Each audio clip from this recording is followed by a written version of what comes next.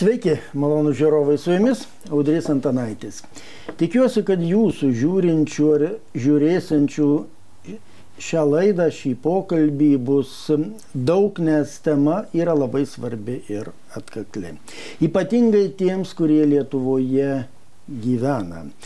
Prieš 30 metų, džiaugdamiesi atgautoje nepriklausomybę, mes svajojame, kaip gerai gyvensime, kiek daug E, mūsų bus ir tada iš ties galėjome būti optimistai. Mūsų buvo beveik 3,5 milijono.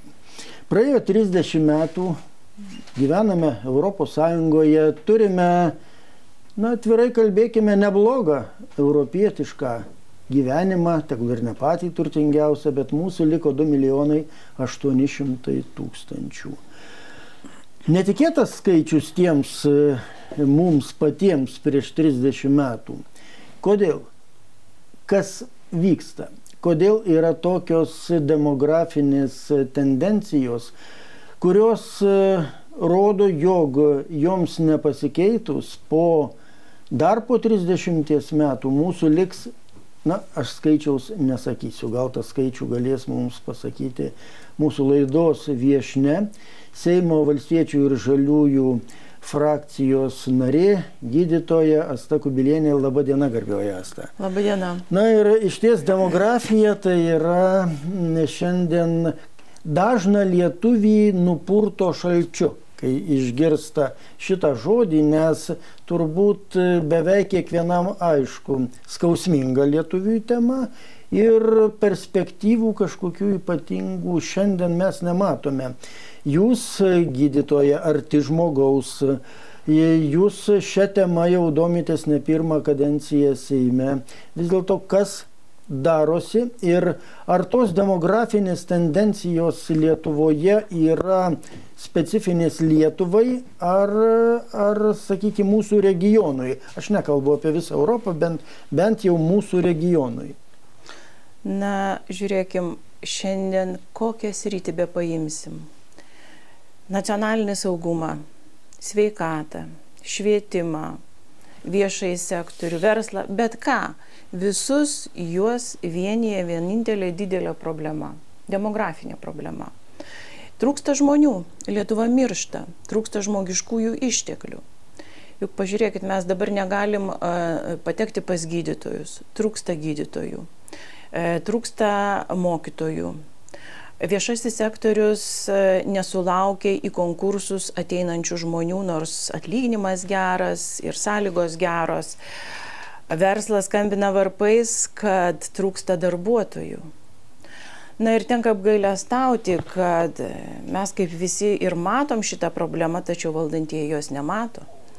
Ir bando ją spręsti uh, kaip blogas gydytojas kad e, ne priežastis pašalinti, o simptomus. Gyvenant piliulę duot kažkokią. Taip. Saldžią. Na, gydytojų kompetencijos yra perkeliamos slaugytojams papildomai. Mokytojų kompetencijos perkeliamos mokytų padėjėjams. Policijos e, kompetencijos perkeliamos jauniesiems policijos rėmėjams. Na, apie kokybę šitų paslaugų tikriausiai gerai galvoti netenka. Mhm. Netgi tokios iniciatyvos, kur atrodo iš tikrųjų puikios, e, kaip e, didelis kiekis naujų modernių automobilių policijai pirkimas tikrai kelia kreivą šypseną. Nes kyla klausimas, kas juos vairuos mes nebeturime e, žmonių. Ir iš tikrųjų įsivyrauja mm, Europoje ir, ir, ir Lietuvoje ta demografinė žiema, bet Lietuva yra būtent prie tų šalių, kur ta demografinė problema yra ypatingai skaudi mes turime imtis e, pokyčių. O sakykite, prieš 30 metų mes galėjome numatyti tokį dalyką ar ne?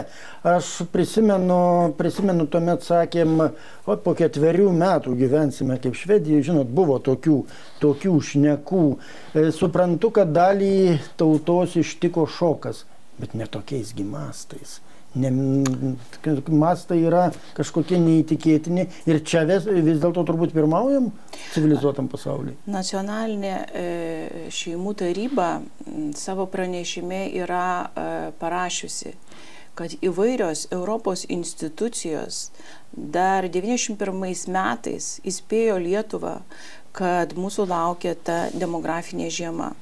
Tačiau iš tikrųjų į tai nebuvo kreipta dėmesio ir šiandien yra situacija tokia, kokią turime. Taip, bet vis dėlto ar kuri nors valdžia, sakysime, per 30 metų jau formulavo pačią problemą ir bent jau būtinybę ją spręsti. Na, iš tikrųjų, jeigu pasižiūrėsim į tos e, teisinius dokumentus, mes pamatysim, kad yra labai nemažai įvairių strategijų, taktikų, mm. vizijų ir, ir kitokių dokumentų, e, kurie kalba apie demografiją. Bet iš esmės nei vienas jų nėra įgyvendintas.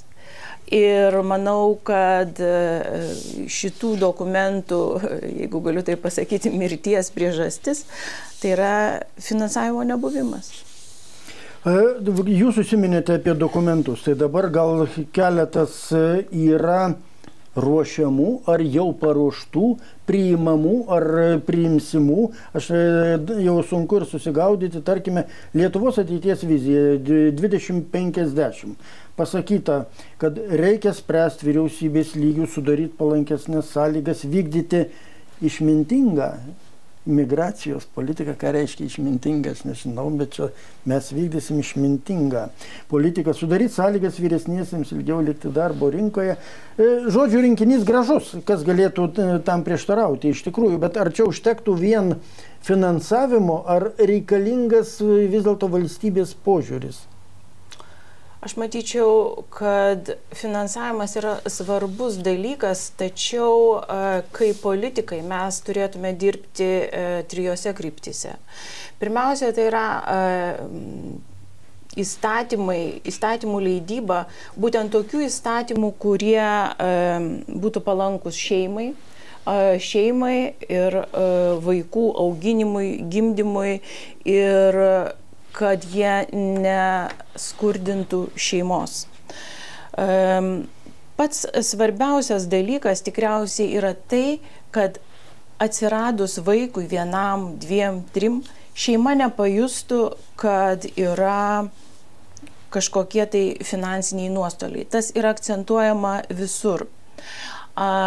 Kitas dalykas, taip pat manau, kad labai svarbu yra ir tas e, darbo ir polsio režimas, e, polsio būtent buvimo su vaikais, rūpinimuosi jais. Ir mm, įstatymų leidėjai tikrai turi numatyti įvairias galimybės, lankščius tos darbo grafikus ir kitas, e, kitus įrankius, kad tėvai auginantis vaikus galėtų dirbti, kad turėtų juos kur palikti darželiuose, kad užtektų ten vietų ir panašus dalykai.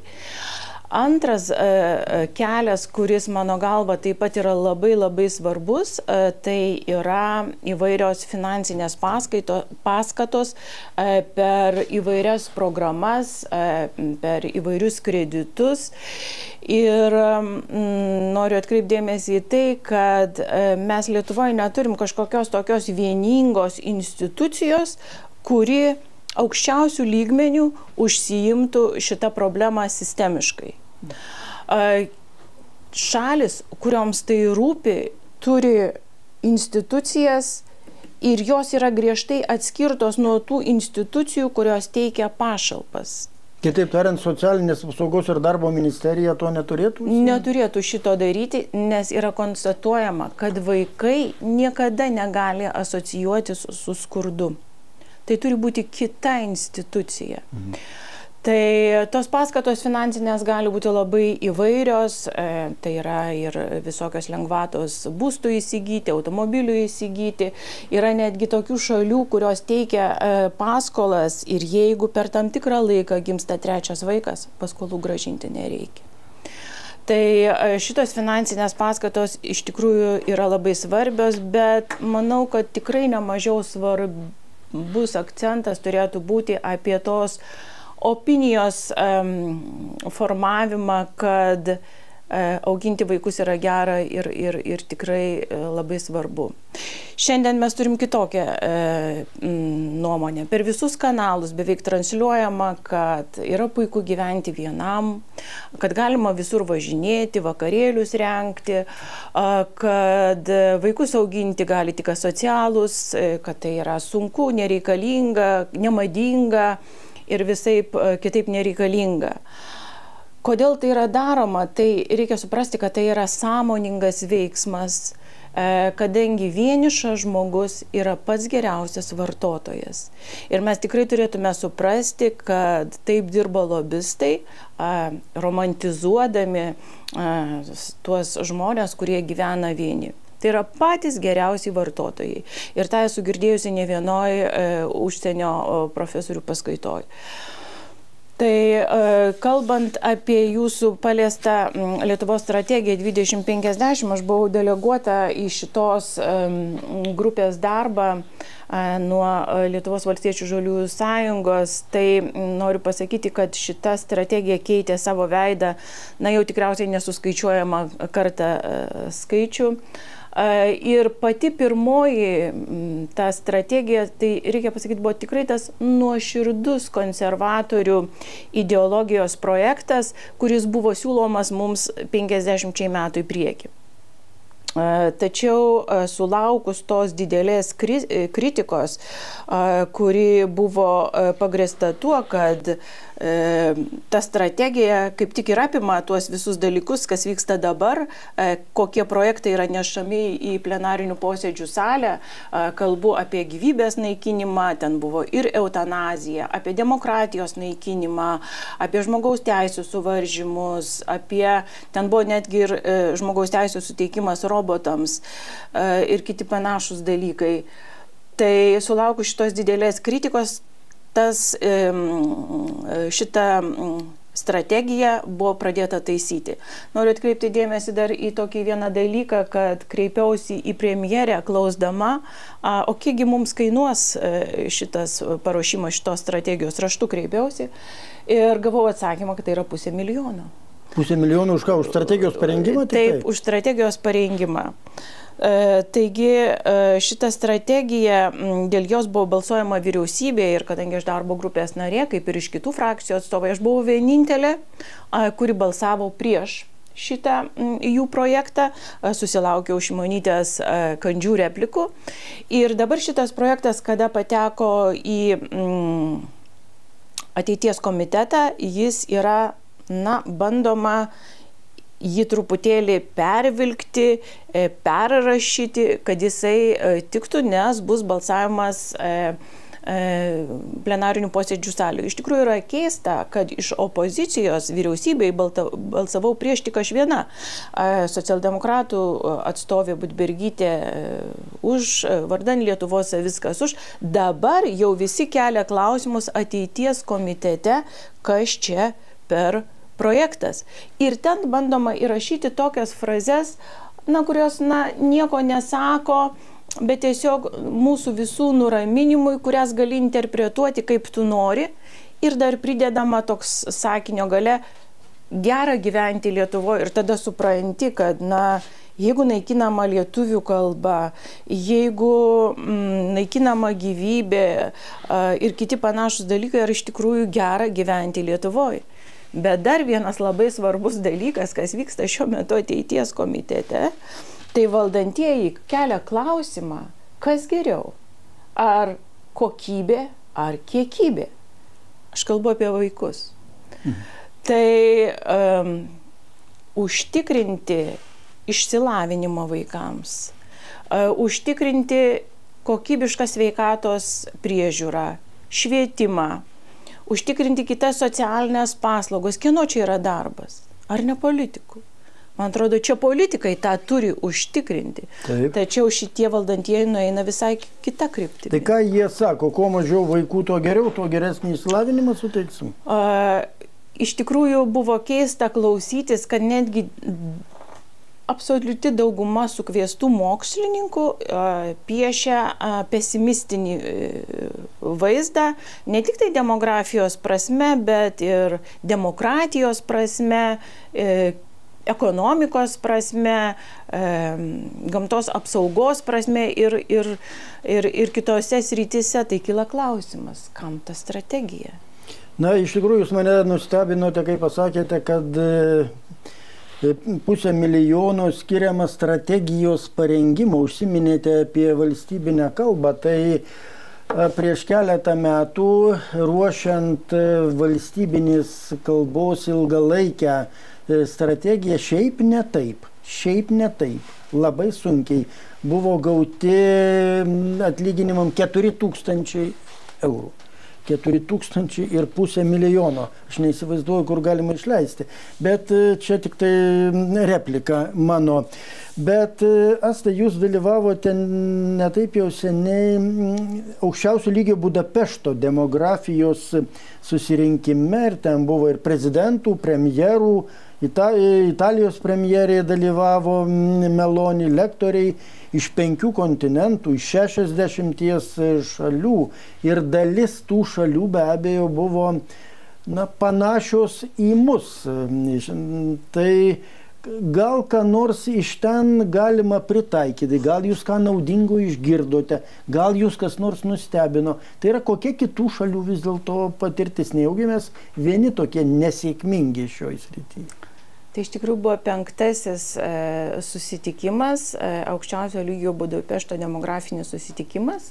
Jis vyksta kas du metus ir ten susirinko gausybė politikų ir visų kitų sričių specialistų, ekspertų, profesorių, mokslininkų iš 60 šalių. Tai iš tikrųjų ta tematika ir tų pranešimų e, ne tik tai gausa, bet ir temų įvairovė iš tikrųjų buvo labai įdomi. Ir tikrai pasisėmiau daug idėjų ir, e, ir labai daug naujo sužinojau. Ir jeigu labai taip trumpai apibendrinant, tai iš tikrųjų buvo kalbama ir vieningai konstatuojama, kad tai Europoje yra demografinė žiema. O tokiuose šalyse kaip Lietuva, Italija, dar keliose tai yra jau ledynmetis. Mhm. Ir tikrai daugelis šalių yra labai susirūpinusios, ką daryti ir tikrai mm, deda tas pastangas, kad situacija keistusi. Jeigu kalbėti, kas mane nustebino, tai mane nustebino ta gausa valstybių, nežiūrint jų skirtingo ekonominio išsivystimo, skirtingų kultūrų, skirtingų ten um, kažkokių kitų dalykų, jos turi aukščiausio lygio pareigūnus ir aukščiausio lygio institucijas, kalbu apie ministerijas, apie ministrus, apie premjero komandos aukščiausius e, pareigūnus, kurie kūruoja ir sistemiškai a, sprendžia šalių problemas, demografinę tą problemą. Tai man atrodo, kad tai yra labai labai svarbu. O Lietuvoje kas vis dėlto kūruoja šitą problemą? Tai gal, kaip aš minėjau, socialinės e, apsaugos ir darbo ministerija? Iš tikrųjų, šitą problemą, na taip tiesiogiai, sakyčiau, toks yra patariamasis balsas Seimui tai yra nacionalinė šeimų taryba. Bet tai, ką jį gali, tikriausiai apsprendžia jos finansavimas. Tai yra 67 tūkstančiai per metus, jūs padalinkite iš 12 mėnesių. Tai ir palyginimui aš galiu pasakyti lygių galimybių e, kontrolieriaus tarnybą, kuri gauna beveik 600 e, tūkstančių eurų. Na ir žinom, kuo jį užsima - kišenių dydžių palyginimais, LGBT teisėmis ir panašiai. Tai tikriausiai mm, mes labai turėtume stiprinti šitą tarnybą, turėtume ne tik tai finansiškai stiprinti, bet ir tikriausiai įgalinti, mm, reglamentuojant e, naujais teisės aktais. Iš tikrųjų taip, matyti įgaliojimų klausimai būtų svarbiausi, su įgaliojimais e, juos turėtų jau finansavimas sekti. Ji, iš tikrųjų šitą problemą aš skaidyčiau į tris dalis. Apie vieną jūs kalbėjote - gimstamumas. E, tačiau yra emigracija ir imigracija irgi demografijos klausimams svarbus dalykai. Dabar emigracija lyg ir stabilizavosi, kitaip tariant, jau kas galėjo, tas emigravo, nebėra kam emigruoti. Vat, bet kyla vis daugiau klausimų apie tai, kad atverkime duris e, ir visus užtvarus imigracijai. Ir, žinot, klausant tokius dalykus, tokias kalbas, kartais darosi neramu. Nes šiandien mes dar gyvenam palyginus su kai kuriuom vakarų Europos šalim, kai kuriais atžvilgiais kaip Dievo užantyje nėra to nusikalstamumo, nėra tos baisios mafijos, kontrabandos, dar visokiausių problemų susijusių su kultūrų skirtumais, civilizacijų skirtumais. Ką jūs, ką jūs galvojate apie emigraciją ir imigraciją? Ar aš teisus pasakęs, kad emigracija kaip faktorius jau mažėja, nes sutikime su tuo, būkime atviri patys savo, kas išvažiavo masiškai nebegrįž masiškai tikrai nebegrįž, bus grįžtantys gal šimtai, gal tūkstančiai, bet ne masiškai, bet imigracija iš tikrųjų mūsų laukia kaip iššūkis. Aš pradėsiu nuo imigracijos. Manau, kad mes, mūsų visuomenė yra susimaišiusi, galbūt įsąmoningai yra sumaišyta, kada kalbame apie teisės, e, laisvės ir pareigas. Mes neturim teisės e, nuodyti save, mes neturim teisės lipti per tvorą, net ir valstybinę tvorą. Tai jeigu e, žmogus e, nori atvykti į kitą šalį, tai jis daro civilizuotais būdais. Ir kaip žinia, iš neteisės teisė negimsta. Mm. Todėl mes iš tikrųjų turime labai atsargiai žiūrėti į tą e, imigrantų antplūdį Lietuvoje, nes matome, kas vyksta kitose šalyse. Nieko gero. Budapešto susitikime buvo taip pat kalbėta ir diskutuota apie tai, kad į Vokietiją, pavyzdžiui, atvykę keturi emigrantai, turi sveikatos apsaugą, turi švietimo galimybės, turi visas kitas teisės, tačiau dirba iš jų tik tai vienas. O kiti trys mėgaujasi kiti... vokiečių sukurtų produktų. Taip, tai iš tikrųjų, man atrodo, tai nėra socialiai teisinga. Ir todėl mes čia turime labai turėti e, griežtą politiką ir, ir, ir tikrai nesusimaišyti, kas tai yra teisė, kas tai yra pareiga, kas tai yra laisvė. Kalbant apie emigraciją, aš nemanau, kad ta banga visiškai yra sustojusi, nes, kaip žinia, jeigu ekonomika grimsta į nebūtį, ką mes matome dabar, kad e, grimsta valstybė į chaosą, mažėja čia demokratijos e, apraiškų, tai tikrai tai žmonės atbaido ir jie nori palikti tokią šalį.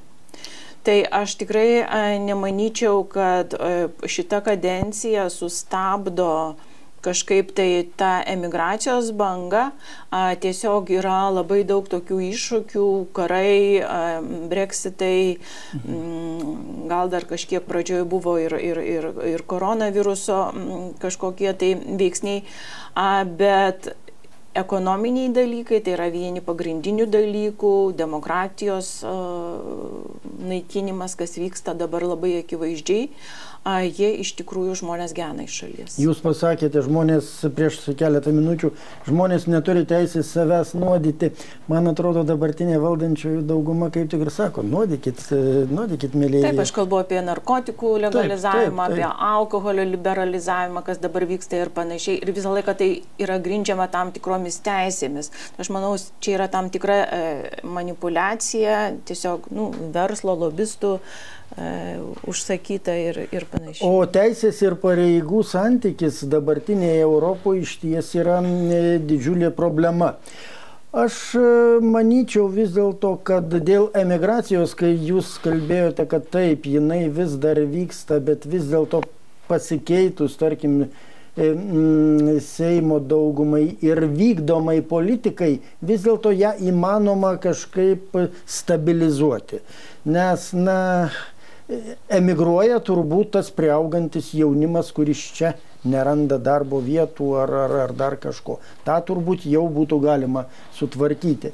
Bet sakysim, jeigu mes kalbam apie imigraciją, tai ar mes turim kokiu, kokią nors manevro laisvę, ar vis dėlto mums Bruselis padiktuos tiek ir tiek turit priimti, tiek ir tiek pa, pašalpų išdalinti.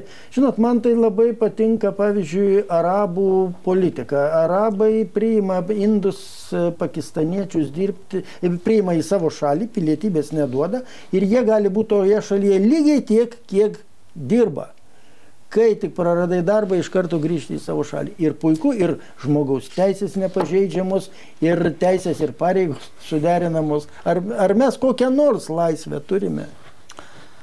Artėja, kaip žinia, rinkimai, įvairūs rinkimai. Ir vieni iš jų Europarlamento rinkimai, kurie paprastai yra tokie mažiausiai pastebimi ir mhm. mažiausiai na, jeigu taip galima pasakyti, reikšmingi kai kurių e, žmonių atžvilgių. Aš manau, kad tai yra labai svarbus rinkimai ir tikrai kviečiu visus į juos ateiti, nes e, tai, kas vyksta Europos parlamente, mano galva, taip pat turėtų būti keičiama. Taip. Mes tikrai nutolom nuo to Šumano idėjos, e, įkurėjo šitos e, sąjungos, nuo tos idėjos, kas čia turėtų būti, kad mes turėtume būti ekonomiškai lygus ir e, kovoti, kad nebūtų karo, bet mes dabar nueinam į kiekvienos šalies reikalus ir bandome kiekvienoj šaly šeimininkauti pagal savo supratimą. Mhm. Naikinama ta įvairovė, ta kultūrų, kalbų skirtumas, tradicijų skirtumas kas daro mus unikaliais, kas mus ir na, daro įdomiais. Tai aš manau, kad čia tas aspektas yra iš tikrųjų labai svarbus. Bet kalbant apie emigrantus, tai manau, kad čia irgi turėtų būti tam tikra labai aiški valstybės politika, kad tam tikrų sričių specialistai gali atvykti į Lietuvą, gali jie dirbti tam tikrą laiką, kad mes galime čia mokyti tam tikrų šalių specialistus, bet irgi turėtų būti tam tikras skaičius jų, kad nesusidarytų labai didelės tos bendruomenės, kurios po to pradeda uh, na, prašyti to, ko jiems nepriklauso. Mes matom tuos visus e, piketus, streikus ir, ir, ir visokias. Kas darosi dėl gazos, dėl Izraelio. Taip, nesuprasdami esminių dalykų. Bet aš, aš manau, kad e, bendruomenės iš specialistų tokios, apie kurias jūs kalbat, nesusidarys. Jos daugiausiai susidaro už pašalpų gavėjų. Aš, aš taip manyčiau, iš specialistų tai būtų gerai, kad e, važiuotų čia na specialistai. O ką Jūs galvojate, tarkime, apie baltarusių ir, ir, ir ukrainiečių e, atvykimą į Lietuvą ir jų tam tikrą integravimą, nes vis dėlto tai, kaip ten bebūtų, tai yra žymiai artimesnės kultūros žmonės. Ir e, mūsų reikalas yra sudaryti jiems sąlygas integruotis. Aš nekalbu apie pilietybę, bet bent kalbos pramokyti ir, ir, ir kažkokių, kažkokias garantijas duoti, bet tuo pačiu atsirinkti specialistus. Na, aš kalbu apie tokią politiką, kurios, kurios aš nelabai suprantu, kodėl valstybė, valstybė negali susiformuluoti. Na, iš tikrųjų, valstybė bijo jau pati savo šešėlio ir, ir, ir tikrai mhm. veda tokią politiką, kad mes baigiame susipykti e, su, su daugelio šalių, jau tikriausiai vienos rankos pirštų neužteks. E, bet tikrai sutinku, kad e, tos šalis, kurios yra artimiausiai mūsų, jos turi tam tikrų panašumų, jos galėtų čia tie žmonės, ypatingai bėgantis nuo karo, nuo represijų, jie galėtų čia tikrai e, puikiai integruotis. Nepamirškim, kad dalis vis tiek jų sugrįž pasikeitus situacijai į mhm. savo valstybę, bet tikrai nemaža dalis galbūt ir sukurs čia šeimas, mišrės šeimas ir, ir, ir, ir galbūt e, tikrai pasiliks. Tai, ką jūs kalbėjote apie tą mm, išlaikytinių, komandą ar, ar, ar kažkokią bendruomenę. Tai vėlgi labai mes turime atsižvelgti į tų šalių tradicijas. E, žinom, kad jeigu atvažiuoja ukrainiečių šeima, tai tikriausiai abu žmonės yra dirbantis. Tuo tarpu, jeigu atvažiuoja iš Pakistano, nežinau, dar... Ne vienas kitų, nedirbantis. Bus. Jo, tai tikriausiai ten bus nei vienas nedirbantis ir dar atsiveš ne tik tai žmoną, bet ir, ir, ir, ir didelę dalį giminės. Mm, tai e, labai turėtume šitos e, klausimus savo aiškiai išsidėstyti ir turėti planą, kaip tas yra vykdoma. Nes aš e, pasižiūrėkime istoriją. Junktinės Amerikos valstijos turėjo savo normalią imigracijos politiką ir priimdavo tuos, kurie galėjo įrodyti, kad dirbs arba turėjo reikalingą specialybę. Tai tiesiog aš manyčiau, kad čia reikalinga politinė valia, jūs jau pokalbio pradžioj užsiminėte, kad valstybės reikalai ir valstybės pareiga yra e, sudaryti sąlygas, nustatyti žaidimo taisyklės. Jeigu demografinė e, politika nepasikeis, mes dabar turime du 1,8 milijono, tai po, po, po 30 metų kiek mes turėsime, nepaskaičiavot? Nu, man sunku pasakyti, kiek mes turėsime, nes mes neaišku, kokią turėsime politiką. Aš labai tikiuosi, kad e, valdančiųjų daugiau e, mes e, valdančiųjų rolėje nebematysime. Nes jų vizija ir vėlgi, ką kalbėjau šitoje strategijoje 2050, 2,2 milijono gyventojų piešiamas toks scenarius. Tai aš nežinau, kam jis mums reikalingas tos tai tokio scenarius piešti negalime apskritai. Aš galvoju, kad mes tam ir esam, kad mes galim pakeisti šitą situaciją, bet mes turim kažką tai daryti, mes turim turėti planą. Ir Lietuvos valstiečių žaliųjų sąjunga iš tikrųjų turi labai aišku planą, kaip pagerinti demografinę situaciją, kaip pagerinti iš, žmogiškuosius išteklius, kad verslas galėtų dirbti. Ir aš labai tikiuosi, kad mes turėsim galimybę ją įgyvendinti. E, aš irgi labai tikiuosi ir kad e, dar tikiuosi, kad mes turėsime galimybę labai greitai mūsų žiūrovams ją tą planą pristatyti. Dabar tegul lieka, lieka šiokia tokia intriga, bet vieną dalyką galima, galime pažadėti. 2,2 milijono lietuvių Lietuvoje kažkada šitokių skaičių mes negalime net, net įrašyti į jokius dokumentus, nes realybė seka paskui mintį. Jūs kaip gydytoja tą labai gerai turbūt žinote. Iškelsi savo tikslą turėti 2,5, 2,2, turėsi 2,2. Mes turime gal grįžti prie 3,5. Sutinkate? Tikrai sutinku ir e, remiuosi ne tik jūsų pasakymų, bet ir ekspertų nuomonę ir tikrai uh, E, plenarinių posėdžių salėje e, aš organizavau e, diskusiją apie demografiją ir ten kalbėjo ne vienas Lietuvos ekspertas ir man užstrigo gerbiamo Gruževskio, profesoriaus Gruževskio pasisakymas, kad gerai pasistengus Lietuva 2050 metais gali turėti vėl 3 milijonus, bet reikia dirbti. Boguslavas Gruževskis išmintingas žmogus sutinku. Ir tikėkime, kad e, iš ties bent jau prie 3 milijonų mes e, tuo metu artėsime. Ačiū Asta už pokalbį. Ačiū Tikiuosi jis ne paskutinis. Sėkmės ir iki pasimatymo. Ačiū. Ir kalbėjome su Seimo valstiečių ir Žaliųjų sąjungos frakcijos nare gydytoja Asta Kobilienė. Likite su mumis. Politinė reklama apmokėta iš Lietuvos valstiečių ir Žaliųjų sąjungos sąskaitos.